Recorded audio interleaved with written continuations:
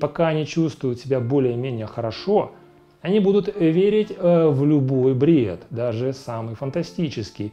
И будут они в этом бреду сидеть, как свинья в грязи, потому что он им нравится. Прошло два года, и то, о чем я их предупреждал, накрыла реальность, в которой они существуют. Иначе говоря, наступила зрада. Только буржуйка, только свечи и только ведро вместо унитаза. Теперь это новый стиль и образ жизни украинского патриота. Нажиться на чьей-то беде – это как раз по-украински. И это не я утверждаю, так считают сами граждане Украины.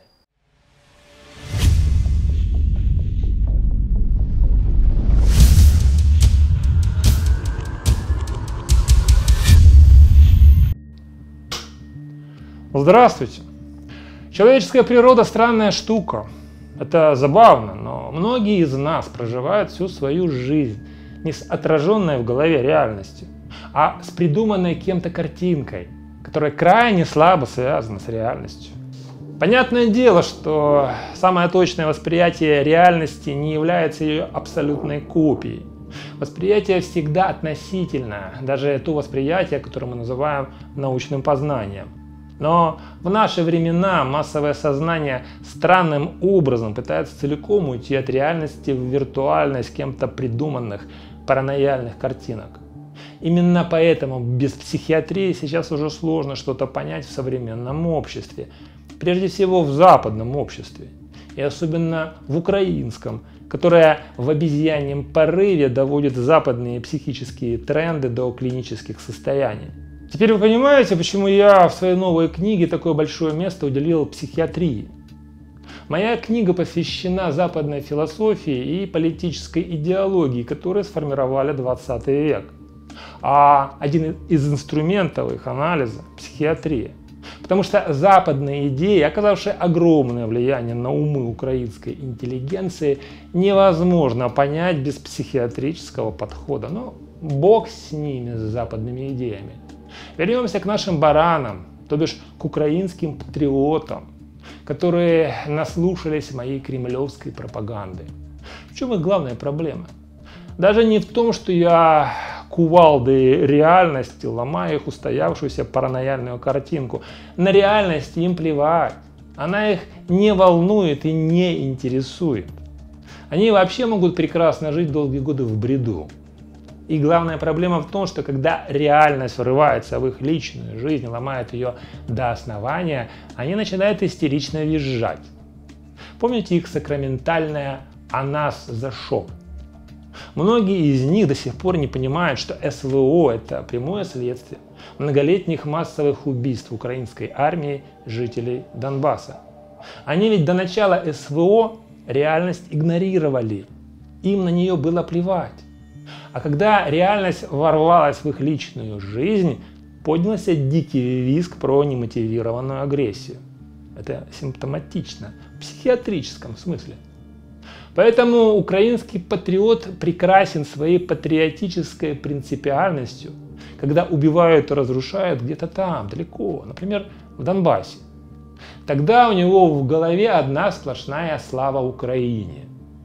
Когда ему лично хорошо, то чужие мучения лишь усиливают у него ощущение собственного счастья, и тогда он получает удовольствие от любых пропагандистских картинок, даже самых бредовых, как это.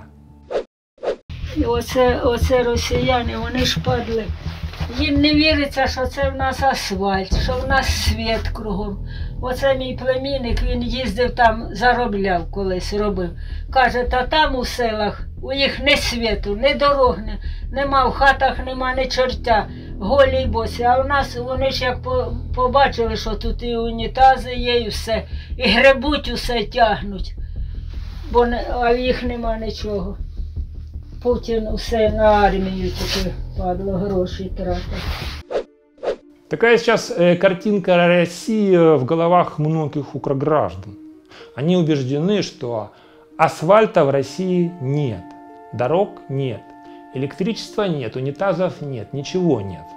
Только болото и жабы квакают.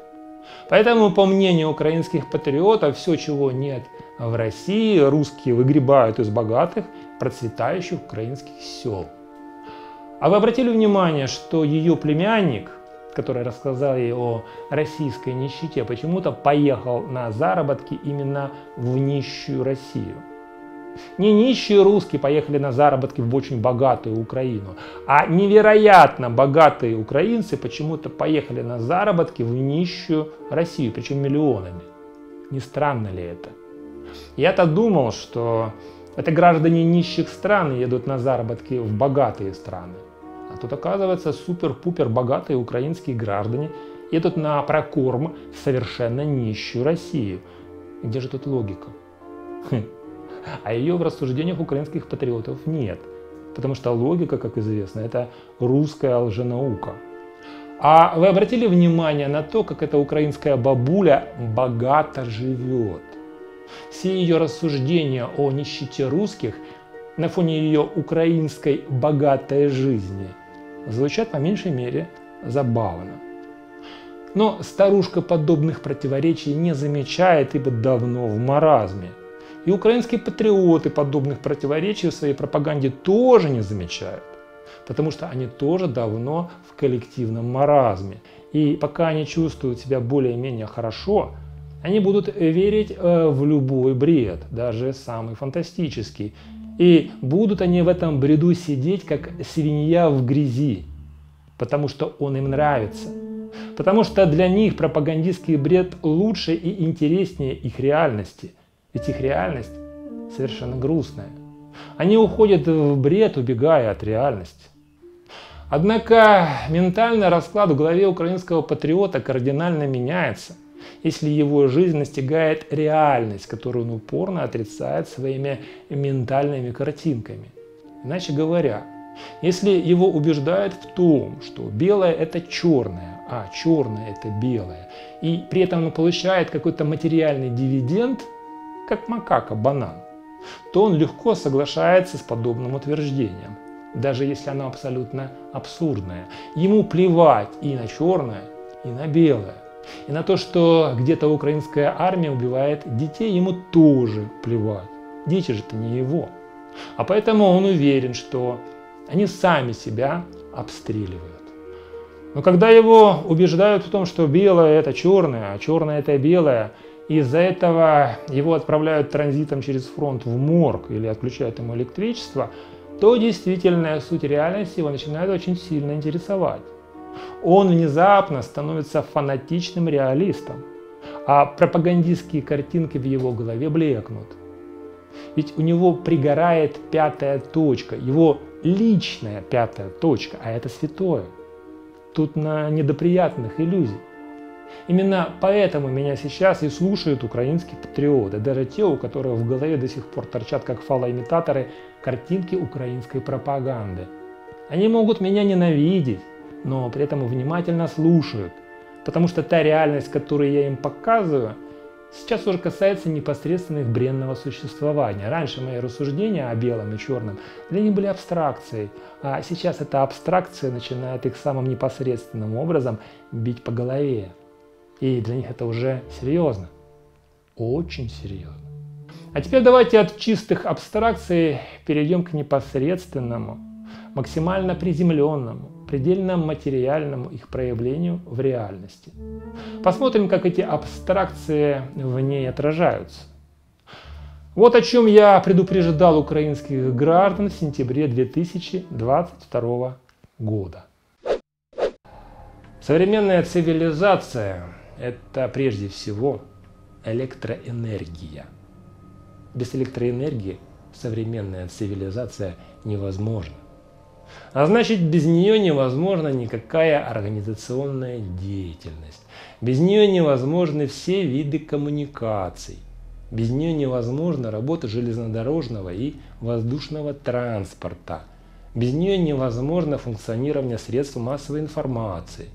Без нее невозможна работа системы водоснабжения и отопления. Без нее невозможна работа любой машины, от кофеварки до гидронасоса. Таким образом, Если решить страну источников электроэнергии, то она погрузится в архаику и просто окажется парализованной. В связи с этим у меня вопрос.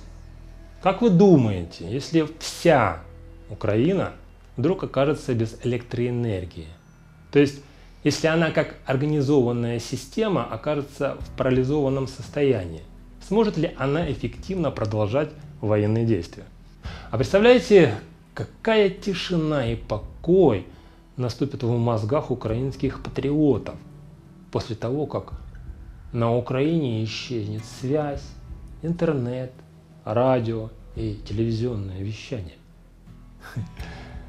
Представьте, ночь, зима, свечи, потрескивающие дрова в буржуйке, а вместо унитаза, наличием которого так гордятся укропатриоты, дурно пахнущее ведро. А главное, пронзительная тишина на сотни километров, нарушаемая лишь завыванием вьюги за окном. Милые мои украинские патриоты, вы можете относиться к России как угодно. Вы можете и дальше ненавидеть русских. Но русские до сих пор не трогали гражданскую инфраструктуру Украины именно из-за вас, простых граждан Украины. Но ваш президент всеми силами стремится поднять ставки в этой кровавой игре на Украине. Судя по всему, ему не нравится специальная военная операция в версии Light. И после этого ВСУ начали широкомасштабные обстрелы российской территории. В связи с этим стесняюсь спросить, как там у вас сейчас на Украине с электроэнергией? Все ли хорошо? А? Этот видеоматериал, в котором я упоминаю украинскую зиму при свечах и с ведром вместо унитаза, патриоты Украины благополучно снесли с Ютуба. Теперь видеоматериал номер 113 можно посмотреть только на Рутубе. Для них это перемога. Но прошло два года, и то, о чем я их предупреждал, накрыла реальность, в которой они существуют. Иначе говоря, наступила зрада. И что теперь? Украинские патриоты попытаются удалить свою реальность, как мой видеоматериал. А смогут ли они это сделать? Реальность не YouTube – у нее нет модераторов и цензура на нее не распространяется. Вам не нравился мой прогноз о дурно пахнущем ведре вместо унитаза. Поэтому вы решили, что я кремлевский пропагандист. А теперь это дурно пахнущее ведро в вашей личной реальности, в вашей квартире. И не я в этом виноват. Что теперь? Куда будете строчить доносы? По данным украинских властей, в последнее время Украина лишилась 50%, более 9 гигаватт своих мощностей генерации. Уничтожено порядка 80% тепловой и треть гидрогенерации. Поэтому теперь на Украине на вопрос «когда дадут свет» звучит сакраментальный ответ «когда взойдет солнце». А исполнительный директор ДТЭК Дмитрий Сахарук – советует украинским гражданам готовиться э, к зимним холодам самостоятельно, ни на кого не надеясь. А как они смогут самостоятельно подготовиться к зиме без электричества? Только одним способом. Купить свечи, буржуйку и запастись дровами. Иных вариантов нет. Ибо все, что было разрушено ракетными ударами российских ВКС – восстановить к зиме не получится. Они мечтают в лучшем случае восстановить 60-70% разрушенного. Но, как говорится, мечтать не вредно. Вредно не мечтать. Как шановное панство собирается что-то восстанавливать, если по сути почти всю электроэнергетику Украину, генерирующую, транспортирующую и распределяющую, теперь надо строить с нуля? Стесняюсь спросить, сколько шановне панство построило с нуля электростанций за все годы незалежности? Знаете? Я отвечу, ни одной. Всю электроэнергетику нынешней Украины построили русские во времена Советского Союза. А теперь ускоренными темпами идет то, что украинская пропаганда называет декоммунизацией и дерусификацией.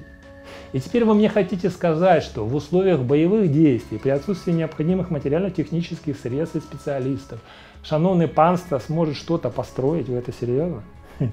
Они будут строить десятки электростанций и тысячи километров электросетей? Вы верите в эту чушь? Поэтому только буржуйка, только свечи и только ведро вместо унитаза. Теперь это новый стиль и образ жизни украинского патриота. Главное, чтобы городские власти уже сейчас начали копать выгребные ямы возле жилых домов. Иначе Украина утонет в собственных фекалиях.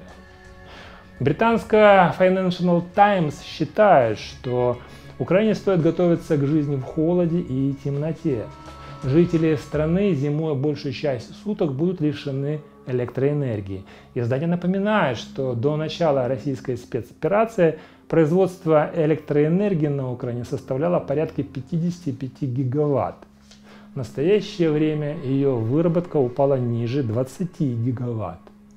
В связи с этим украинский премьер-министр Денис Шмыгаль заявил, что последствия российских атак на энергетический сектор Украины являются долгосрочными, и это значит, что экономия электроэнергии станет частью нашей повседневной жизни в ближайшие годы. Поэтому, как он подчеркнул, наша цель экономить на всех уровнях, от крупных предприятий до отдельных домов и квартир. А что означает эта экономия на всех уровнях? Это означает, что, как сообщили анонимные украинские чиновники, мы должны подготовиться к жизни в холоде и темноте. По их мнению, жизнь в холоде и темноте – это теперь новая украинская норма жизни. А поэтому украинским гражданам необходимо готовиться к тому, что уже в январе в их домах электроэнергия будет лишь 2-4 часа в сутки. Но это если удастся реализовать оптимистический сценарий. А если не удастся, то у большинства населения Украины электричества не будет вообще. От слова совсем. И это будет, как выражаются украинские чиновники, новой украинской нормой жизни.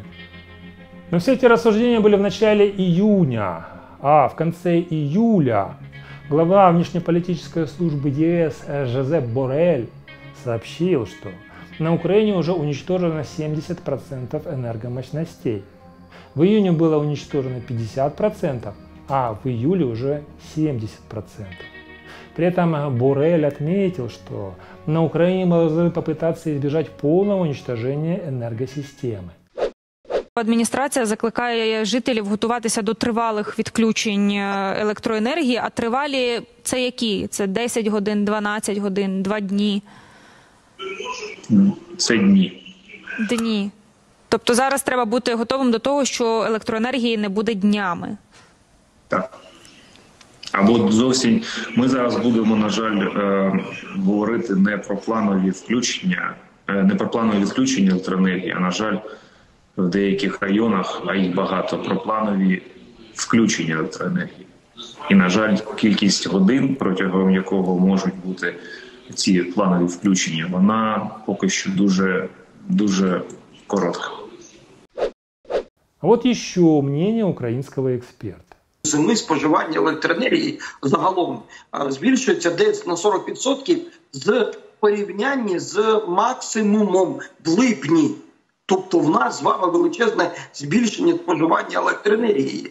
І покривати її Київ немає чим можливості, тому що головним е, головною генерацією, яка покривала споживання Києва, це була е, Центренерго, це була Трипільська ТЕЦ, яка зруйнована. Тому на сьогодні навіть запуск ТЕЦ-5, ТЕЦ-6, якщо зараз працює Дарницька ТЕЦ, вона все рівно не покриє навіть половину генерації, яка потрібна Києву. Тому на сьогодні дійсно Київ буде мати величезні проблеми з генерацією. То есть вы понимаете, к чему все идет? Свечи, буржуйка, ведро вместо унитаза, личный резервуар воды в ванной, машинный аккумулятор на кухне и везде дырчащие электрогенераторы. И в этом нет ничего из ряда вон выходящего. Так живет большая часть населения стран третьего мира. Процесс пошел. Теперь на Украине электроэнергии дают в порядке очереди. Все потребители распределены на 6 очередей. Одни из них лишены электричества лишь на 4 часа в сутки, другие на 8 часов, третьи на 12. А кто-то лишен электроэнергии чуть ли не на весь день. Свет у нас по 2 часа в сутки, город Днепр. Вот, пожалуйста, муж какую-то херню придумал, чтобы чайник закипел. Потому что не поесть, не приготовить, ни кофе, не выпить, ни хрена. Просто жесть, уроды. Кого она имела в виду, непонятно. Могу предположить, що от этого гражданина. Е, Одне тільки хочу сказати, що нам потрібно готуватися, скажімо так, не до графіка включень, е, перепрошую, не до, гра- не до графіка відключень, а до графіка включень електроенергії. Е, Тому що е, ну, це базові речі. Буде е, в будь-якому випадку під час опалювального сезону е, рости енергоспоживання, і тому е, це дуже велика проблема. Если кто-то не в курсе, то это скорбно блеял о перспективах электроснабжения мэр Днепропетровска. А теперь, что касается ближайших перспектив электроснабжения украинских граждан.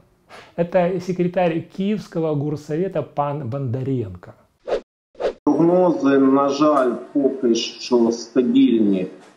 Це відключення, е, зважаючи на е, обсяги енергоспоживання, відключення е, двох-трьох черг, і фактично це світло буде 4 години в день в кращому сценарії, 4 години вночі в кращому сценарії. Будемо єдине, що є розуміння, і ми це від уряду навіть сьогодні чули, що виходять з ремонту енергетичні потужності, додаткові атомних електростанцій.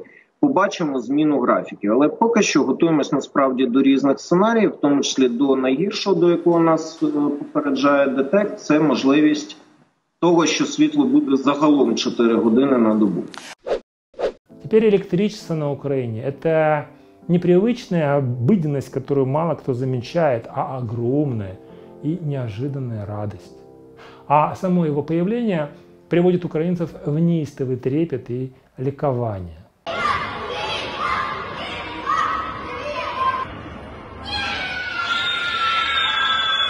Дали світло.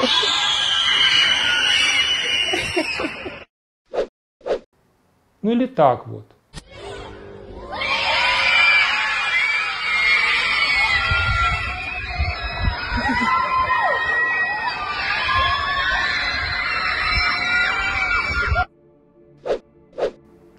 Правда, в этой ситуации до конца не ясна причина такой жесткой экономии электроэнергии. Режим Зеленского во всем обвиняет Россию, но некоторых украинских граждан терзают смутные сомнения. цена электроэнергии на рынке украинском при- начинает превышать установленный государством параметры в 4 гривны с копейками за киловатт. Когда она начинает достигать 7, 8, 9 гривен за киловатт. Может быть, э, в этом причина того, что большинство украинцев сидят сейчас по 12, 16, 20 часов без света. Вчера один мой знакомый, э, который живет в Киевской области, написал, что за сутки он имел 3 часа света, 3 часа электроэнергии. То есть он 3 часа жил как-то похоже на человека. Вот эти, пока у нас не будет ответов на эти вопросы, куда ушли деньги, что случилось именно в 2024 году, есть ли экономические причины отсутствия электроэнергии, как государство готовилось к этому периоду. Пока у нас не будет ответа на эти вопросы, бессмысленный любой диалог, по большому счету, с государством и с чиновниками. Они все равно нам не скажут правду. Ситуация в любом случае, то, что мы имеем сейчас на рынке электроэнергии, ситуация ненормальная. Она не соответствует физическим параметрам нашей энергетической системы. А может причина того, что населению не хватает электроэнергии не только в российских ракетных ударах, но и в желании некоторых влиятельных украинских граждан хорошо заработать на нехватке электроэнергии? Кто знает, сколько реально уничтожено генерирующих мощностей. Цифры какие-то уж очень большие и все время разнятся. То 9 гигаватт Украина потеряла, то 35. А еще непонятно, каково сейчас на Украине потребление электроэнергии. Ведь украинское производство сведено к историческому минимуму. Его практически нет. И количество бытовых потребителей электроэнергии тоже сведено к историческому минимуму. Десятки миллионов украинских граждан покинули страну.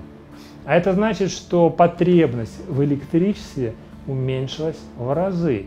В связи с чем возникает закономерный вопрос, что сейчас на Украине рухнуло ниже, электрогенерация или электропотребление?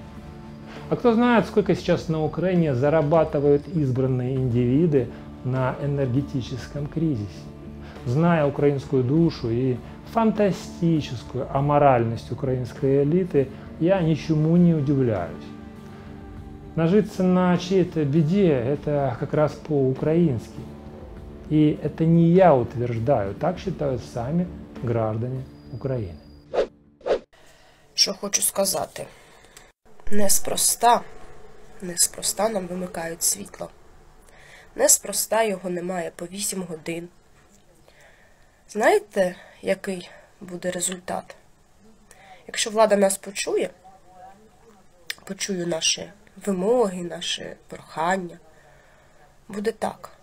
Зроблять світ по 8 і скажуть, це ж краще, ніж вимикання.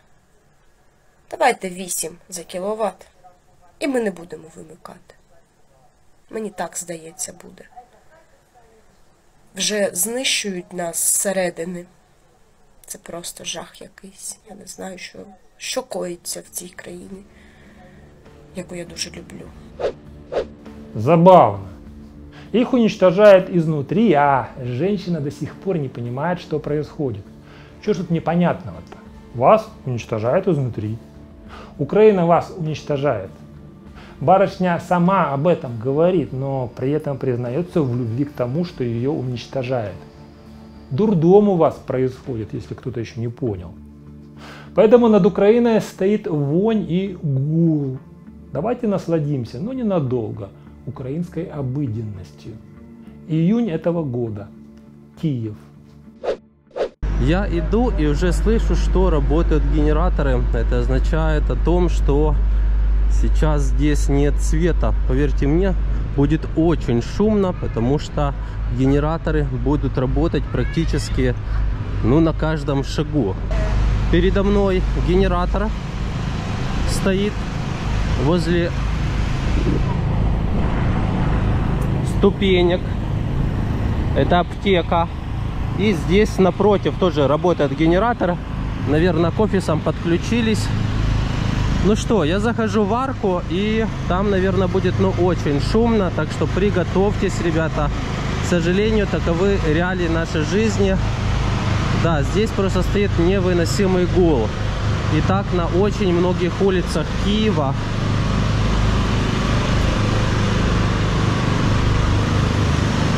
Смотрите, что вообще творится.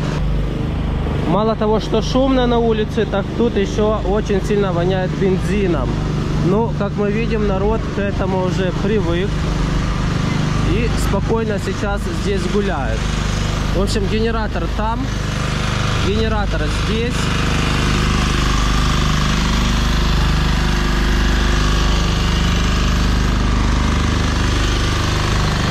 Еще один генератор.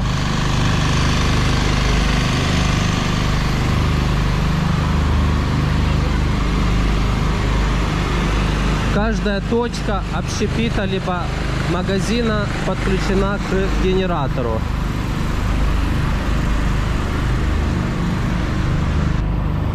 Конечно же, когда так шумит, очень сложно сидеть на улице. Просто представьте, вот вы пришли в кафе, и тут такой стоит шум. Это что-то с чем-то.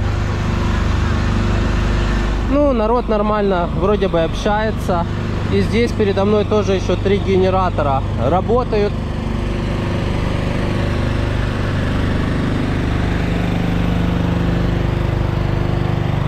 Хотя соседнее кафе совершенно пустое.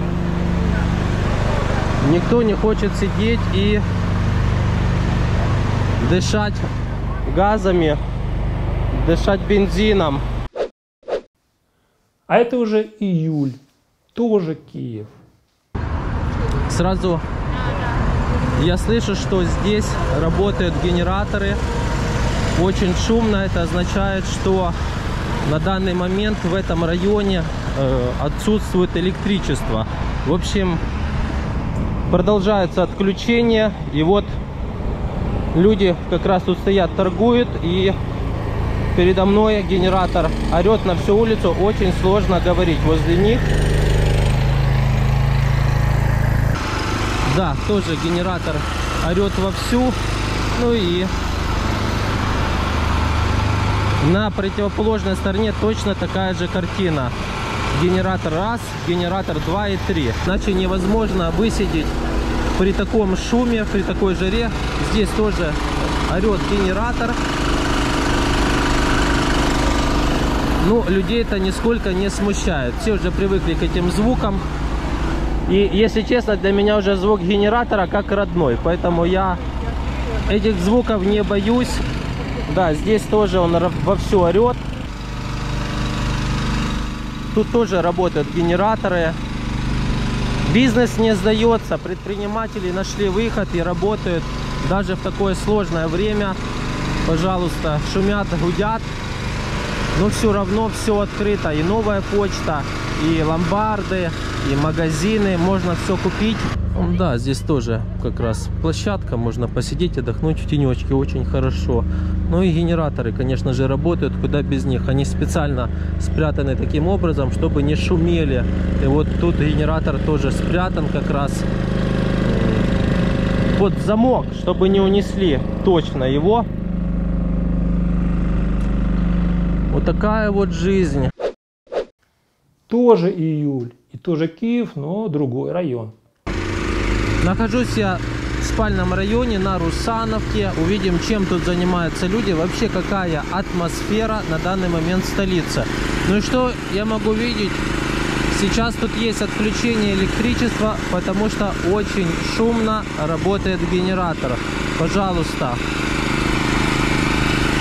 Вообще, э, когда есть отключение света, проблема с интернетом, я вам рассказывал. В общем, не всегда удается посидеть даже в интернете, почитать какие-то новости.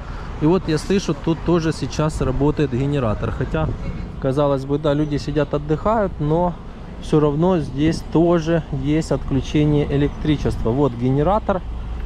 И люди вынуждены подключать их для того, чтобы быть со светом. Пожалуйста. Вот, кстати, тоже магазин прохожу, и здесь тоже работает генератор. Ну, кстати, здесь тоже работают генераторы, и проблемы с электричеством, как мы видим, тоже присутствуют. Мы идем дальше. Ой, да, сразу завоняло бензином. Конечно же, неприятно.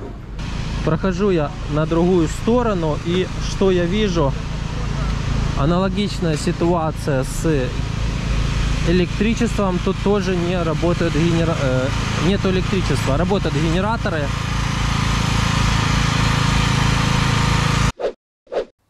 Это тоже июльский Киев. По поводу ситуации с электроэнергией. Вот можем наблюдать, в данном районе отсутствует электричество. Работает генератор и вот это стоматология, я так понимаю, работает на таком альтернативном источнике электроэнергии. На примере моего дома света, точнее свет был только, только 6 часов в сутки. Все остальное время электроэнергия, к сожалению, отсутствовала. А вот так вот сейчас выглядят улицы Одессы.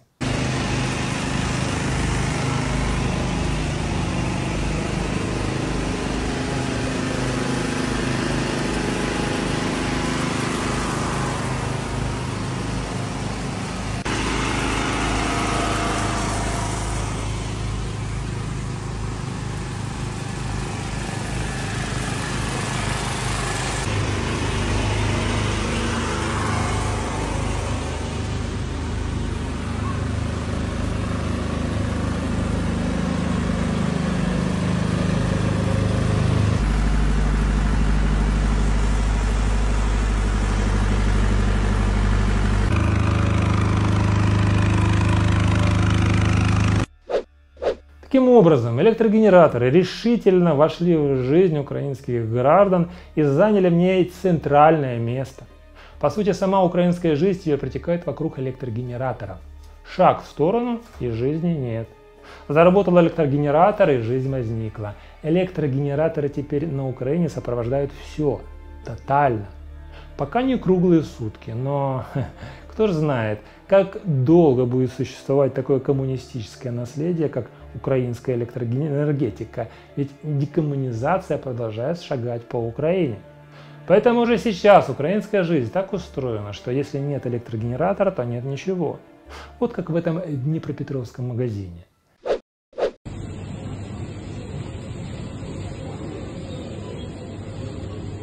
Ну или как в этом киевском. Нет света в Киеве, видите, во что превращаются полки в магазине Сильпо.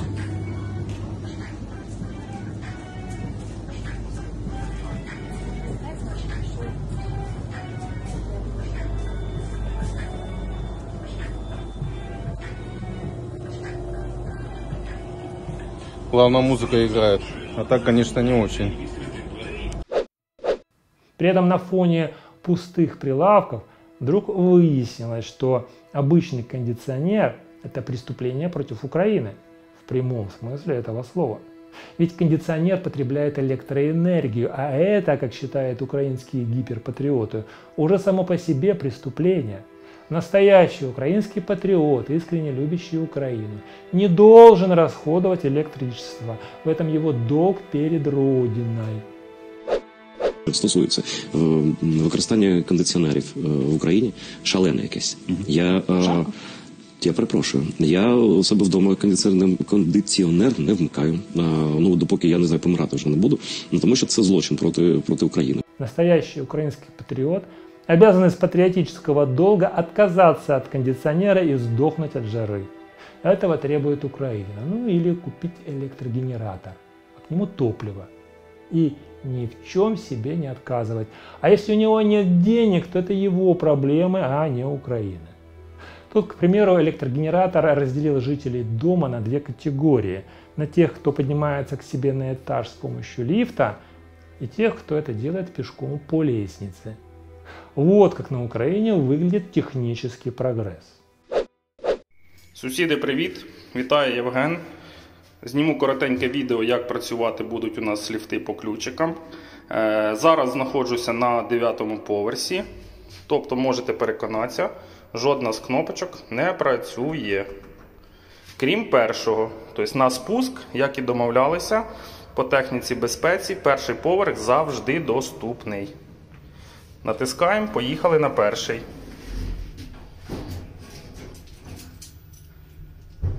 Зараз, поки спустимось, покажу вам, як працює ключ, як блокуються кнопки. Е, на даний час у нас затримка на натиснення кнопок 3 секунди. Тобто ви приклали ключ. За ці 3 секунди повинні встигнути вибрати свій поверх. Після 3 секунд панель знову блокується. Зараз ми прикладаємо ключа і натискаємо потрібний поверх.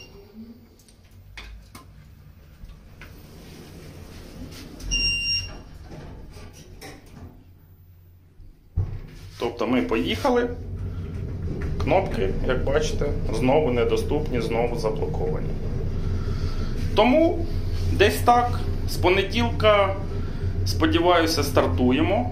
Тому наголошую, здаємо на дизель, катаємося в ліфті. І все буде супер. Почему будет? Супер по-украински уже наступил, причем давно. И один из этапов этого супера – отсутствие электричества. Разрушил электроэнергетику, поставил в подвале электрогенератор и наслаждаешься жизнью. Вот оно простое, украинское счастье. Ну а если у тебя есть еще автомобиль Тесла, то твое украинское счастье будет гораздо мощнее. Ведь Тесла это не только средство передвижения, но и месторождение замечательных аккумуляторов, способных обеспечить квартиру электричеством аж на 10 часов. Покупаешь Тесла и добываешь из нее аккумуляторы. Ну, разве это не супер? Правда, Украинские пельмени почему-то на фоне этого супера хронически грустят, крепко обнявшись в упаковке. До вашої уваги, тут колись були пельмені. Ребят, как, как дела у вас со светом? Как дела, блядь? Ну а что вы хотели? Надо терпеть. Глава офиса президента України считает, что вы уже победили. Ви от зараз м, сяєте такою впевненістю. Ви кажете, що вже зрозуміли, що ми перемогли. Ви цей посил для ну от аудиторії робите, чи ви справді в це вірите? Хочеться розуміти, наскільки ви щирі. Я абсолютно щирий, я в це вірю чо- чітко. Все поняли четкий посыл Ермака. Украина уже победила. Все этому рады. Только пельмени грустят. Ермак перемог, а пельмени зрадовали. Но от пельменей можно отказаться. Не только от пельменей. От цивилизованной жизни как таковой. Этого требует Украина. Как тут не вспомнить откровения пана Зеленского? Ось повертаю вам Україну.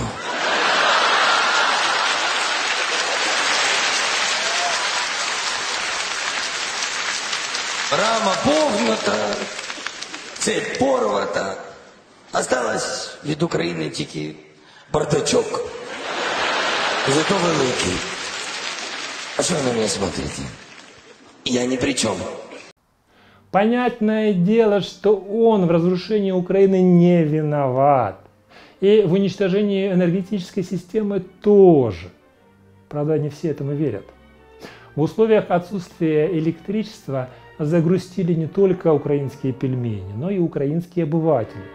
У них теперь нет веры ни в украинские пельмени, ни в перемогу. А пан Ермак и его главный помощник пан Зеленский их очень сильно раздражают. И чем э, дольше в жилых домах Украины отсутствует электроэнергия, тем больше зрады в головах украинских обывателей. Как я уже говорил, им плевать на все, кроме себя любимых. Отсюда этот крик украинской души. Андураси, підси вонючі, що ви робите з народом? Я в шоці. З цим світлом вже заїхали. Я пробачаюсь. У мене вже слів немає. У мене маленька дитина. Я з нею на вулиці не гуляю, їсти не можу приготувати, холодильник не успіває морозити, тобто все пропадає. 15 поверх, електродім, немає води, немає на чому приготувати їсти. Не, не виходимо з дитиною на вулицю. 9 часов ранку включили світло, ой, тобто виключили, а включили аж 3 часа дня. Дали на 3 часа до 6 вечора, чи зараз обратно виключили. З дитиною сходили на вулицю, хоча б щоб час якийсь там купити їсти, швидко прийти додому, щось приготувати, хоч дитина щоб капнула кусочок цього повітря. Щоб ви, блін, так жили, щоб ви здохли вже ці, щоб ви задохли з цим світлом. Я вас, блін, ненавижу. Вы обратили внимание, что у них в последнее время пропала стандартная концовка любого спича? Они перестали кричать «Слава Украине!». Странно. А кого эта барышня так ненавидит? Агрессора? Но она ни разу не прокляла Путина. Это тоже очень странно. Мне почему-то кажется, что желает смерти она не оркам, а персонажам на Банково. Хм, Интересно, девки пляшут. А вот еще мнение украинского гражданина. Вы знаете, всю эту историю с отключениями света я рассматриваю как некий эксперимент. Эксперимент над украинцами для того, чтобы проверить их уровень болевого порога. Вот когда закончится у нас терпение и когда люди начнут, ну не знаю, что-то делать хотя бы. Потому что говорить уже надоело реально, а именно начинать что-то делать. Я уверен, что нас тестируют на болевой порог, на человечность. Мы станем с собаками, с котами, неспособными противиться этому беспределу. Или мы все-таки вспомним, что мы люди. Прям интересно. Мужчина вдруг ощутил, что над населением Украины проводится некий эксперимент. Сотни тысяч его сограждан лежат в могилах. Еще сотни тысяч отлавливаются по всей стране, как животные. Миллионы покинули страну, Украина разрушена, идет война. И тут вдруг он ощутил, что над ним и такими, как он, проводится эксперимент. Но не в связи с вышеупомянутым, а потому что начали отключать электричество. И их человечность, считает он, сейчас проверяется не убитыми украинской армией детьми Донбасса, Белгородской или Курской областей, а способностью бунтовать по поводу перебоев со светом. Как вам такая сугубо украинская полуживотная логика? Из всего мной перечисленного этого мужика ничего не волнует. От слова «совсем». Волнует его только то, что ему электричество отключают, мешая комфортно жить. А поэтому он в духе Достоевского сурово вопрошает, мы твари дрожащие или право имеем? Из всего этого бытового неудобства у украинских обывателей рождается великое подозрение – ну что, ребят, света нет по 15-18 часов в сутки. Это Киев, Киевская область. Мне вот хочется спросить, как там у вас крышечка еще не поехала? Ведь это тоже способ манипуляции, ограничения. Рабство это называется. Ведь хозяева решают, когда раб будет спать, кушать, пользоваться благами или работать. Так вот, границы закрыты. Мы никуда не можем выехать. Даже наши дети, сыновья, которым по 18 лет, тоже не могут никуда выехать. У нас есть комендантский час. Мы тоже ограничены во времени. Пора ложиться спадки. У нас электричества нет. Как кормить детей, как держать продукты, никого это не интересует, а ракеты продолжают летать. У нас скоро и вода по графикам будет. Будут решать, когда мы можем пить, а когда не можем. Ну и плюс на уличке плюс 40, плюс 45. Вы знаете, сколько людей умирает от тепловых ударов? И представляете, как военным сложно. И все это потому, что кто-то делает бизнес или эксперимент. Эта украинская гражданка до сих пор не поняла, что ее рабское положение определяется не ограничениями в подаче электроэнергии, а несколько иными вещами. Ей кажется, что она попала в рабство, потому что злые дядьки ограничили ее потребление. При этом она уверена, что до этого момента была абсолютно свободным человеком. Видите, у них свобода ассоциируется с потреблением. Нет потребления, нет и свободы. Есть потребление, есть свобода. А вот так вот их свобода выглядит, когда светло и есть электричество. Склони коліно. Хвилина мовчання. За захисниками і захисницями України. Москаль пройде мимо. Клони голову, клони коліно. А хто йде, фотографуйте, викладайте в мережу. Пацани, я вам не заважаю. От ви двоє. Я вам не заважаю. Київ, зупинись! Шана герою! Честь герою! Вічна слава герою! А ви двоє на коліна поїдете в цій машині. На коліна! На коліна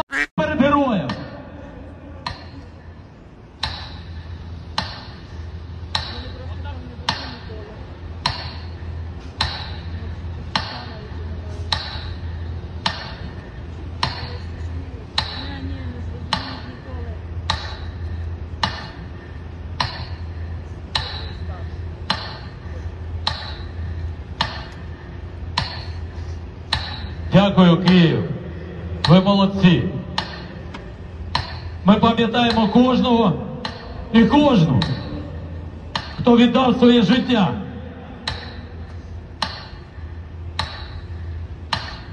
І хто знаходиться в полоні також.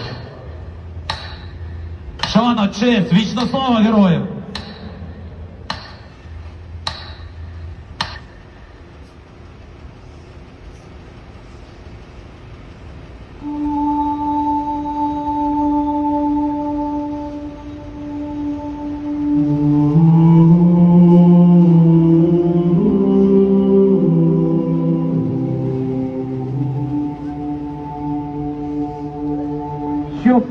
Відбутися в Києві, щоб не було випадків таких.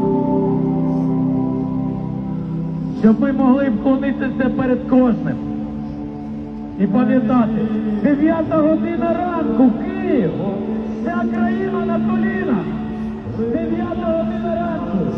Це Україна хвилина мовчання. Зупини СО. Если кто-то не понял, то поясняю. Сейчас все население Украины каждый день ровно в 9 часов утра обязано стоять на коленях. Потому что украинцы не рабы. А тех, кто не стал по приказу на колени, украинские патриоты забирают неизвестно куда для патриотического воспитания. Так всех украинцев приучают, как собачьих Павлова, жить на коленях. Все украинцы должны стоять каждый день на коленях во имя погибших героев, чья смерть дала им возможность стоять на коленях. Потому что ничего другого смерть их героев им не дала. Такое вот яркое проявление концлагеря и дурдома в одном паранояльном флаконе. Но украинцев это не беспокоит. Никто на это не жалуется. Всех волнует лишь отсутствие электроэнергии. Их мысль предельно проста. Можете нас поставить на колени, можете поставить раком, но только дайте электричество.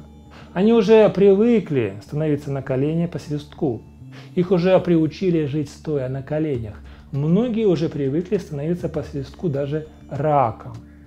Так проявляется человеческое достоинство по-украински. И украинцам нормально. Главное, чтобы электричество не отключали. Удивительные люди. Ну ладно, резюмируем. В АТБ терминалы не работают, в Сельпо терминалы не работают, в Форе терминалы не работают. Зарплата приходит на карточку. Налички нету. В маршрутках прошу оплатить картой, потому что налички нету. Снять с карточки я не могу, потому что я не умею снимать с виртуальной карточки, когда у тебя нет ее физически. Трамвай едешь зайцем, потому что ты тупо не знаешь, как его оплачивать. Интернета нету, света нету, еду купить не могу, приготовить не могу. Похоже на апокалипсис.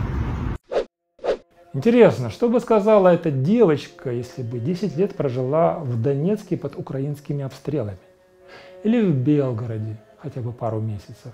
А лучше в каком-нибудь из сел Курской области, которые захватили украинские каратели? В этом случае ее представление об апокалипсисе было бы совершенно иным. Но она этого не понимает. Пока не понимает. Ну да ладно. Продолжим тему украинского апокалипсиса, плавно переходящего, если верить укрогражданам, в геноцид. Короче, у меня 26 часов нету света. Я сижу в машине, пытаюсь зарядить экофло и немножко охладиться под кондером. Со вчерашнего вечера, с 7 вечера у нас нету тупо света. Разрядила все, все, что могло разрядиться, оно уже разрядилось. Что я вам хочу сказать? Это, блядь, ебаный геноцид. По-другому, ну, как бы не скажешь. Нету ни связи, ни света, ни интернета. Нихуя нету. Планета Шелезяка. Полезных ископаемых нет. Воды нет. Растительности нет. Населена роботами. Планета Шелезяка. Полезных ископаемых нет. Воды нет. Растительности нет. Населена роботами. Что меня в этих людях больше всего удивляет? Не их злость, возмущение и проклятие. Больше всего меня удивляет их ярко выраженный аутизм и слабоумие. Они, судя по всему, не знают, что идет война. И о том, что наносятся ракетные удары по украинским электростанциям, они тоже не слышали.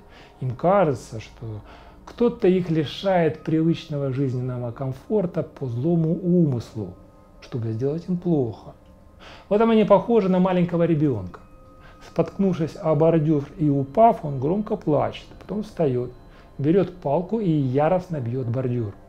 Ребенок уверен, что его болезненное падение – это результат злого умысла бордюра, поэтому он расстроен, обижен и возмущен. Эти люди мало чем отличаются от маленьких несмышленных детей, хотя уже сами нарожали детей. Если они не могут обнаружить причинно-следственную связь между разрушенными электростанциями и перебоями в подаче электроэнергии, то как они могут уловить не столь очевидные причинно-следственные связи? Поэтому они реально не понимают, что их Майдан – это следствие организационно-подрывных усилий спецслужб западных стран, а не народная революция.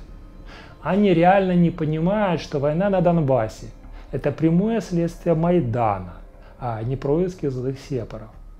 И они также не понимают, что специальная военная операция – это следствие войны на Донбассе, а не так называемая немотивированная агрессия Кремля. Многие украинские граждане реально не улавливают прямую и очевидную связь между многолетними артиллерийскими обстрелами украинской армии донбасских городов, началом СВО и тем, что у них сейчас происходит. Они искренне возмущены внезапными трудностями жизни без электроэнергии, но им и в голову не приходит возмутиться тем, что из-за Украины без электричества и иных благ цивилизации под постоянными артиллерийскими обстрелами жители Донбасса живут с 2014 года. Для них этого нет, для них есть лишь отключение электроэнергии в их личных квартирах и связанные с этим бытовые трудности. Их волнует только это. Все остальное – война, разрушение, кровь, смерть и прочая реальность – находится за рамками их кастрированного сознания. Все это для них не актуально. Все это не имеет для них никакого значения. Поэтому и делать с ними можно все, что угодно. Их экзистенция лишена целостности. У них она в виде фрагментов жизни, которые не связаны друг с другом причинно-следственными связями. Каждый такой фрагмент для них не является следствием предыдущего фрагмента. Для них он возникает из ниоткуда и исчезает в никуда. У них целостность личности по сути разрушена. Жалко ли мне их? Я не могу сказать, что на Украине все уж так плохо. Возможно, кому-то иногда и не хватает электричества. Но в целом все очень даже хорошо. Ведь на такие веселые мероприятия в Киеве электричества хватает. И радостно скачущей публики на них тоже предостаточно.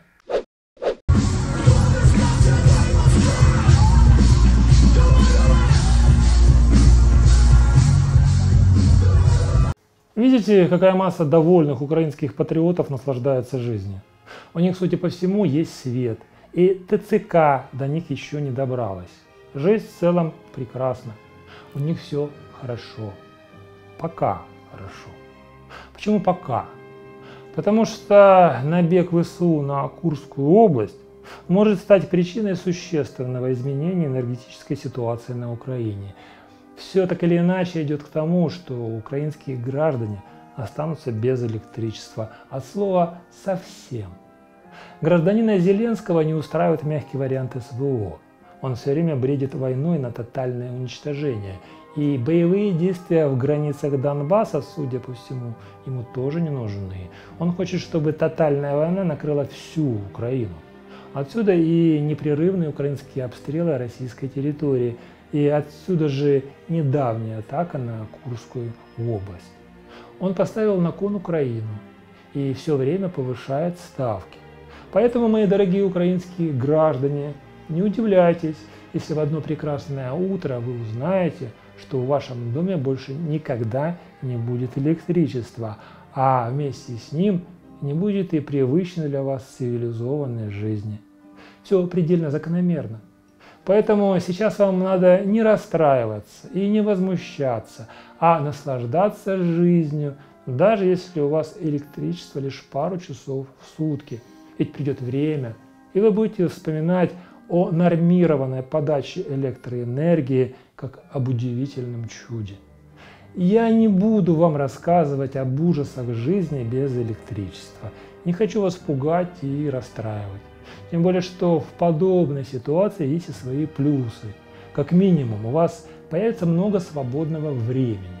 К примеру, съев свой нормированный сухпайок, посетив отхожее место на улице и подбросив дровишек в буржуйку, вы всегда сможете собраться тесной патриотической компанией в отапливаемой комнате для хорального песнопения. В подобных условиях значение коллективного патриотического воспитания становится крайне важным. И я даже знаю, как это будет выглядеть.